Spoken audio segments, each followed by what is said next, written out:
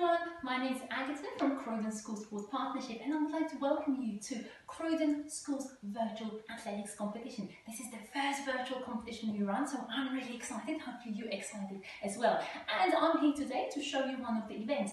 This event is called Spot the Runner. So what this event is about, it's about running on the spot. You might be thinking, hmm, why would I like to run on a spot? Well, this is because you might not have a garden. I haven't got a garden, so I'm going to use my living room instead. You might uh, normally go and run in the park, but again, you might not want to be spotted by other people. So actually doing this activity from the comfort of your own home might work really well all you need is just some comfy clothing, okay? I'm going to do it in my running shoes. If you're doing it in your shoes, make sure they are nice and clean so your parents do not tell you off for making the floor dirty. You might want to consider perfect if you've got carpet, but again, think about safety first.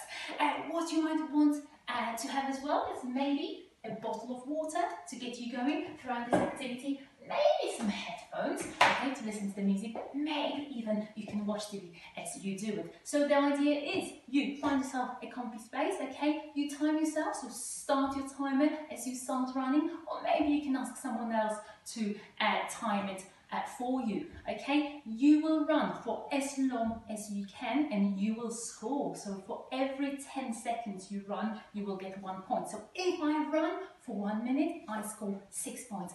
If I manage to run for 10 minutes, I score 60 points. Once you've completed your activity, you will send your scores back to us by filling in a Google form. So read the rules of the competition and all the details are there. Good luck, wish me luck as well. Now, I might want to practice, so you might want to practice as well. So today I'm going to do it for the first time. I will see how long I've been running for. Tomorrow I might try and do it again to try to beat my personal best. So actually, by the time the competition comes, uh, I hope to be in the best form I can be. So, are we ready, okay? Good luck everyone. I'm going to ask my uh, partner to start it. Three, two, one, go.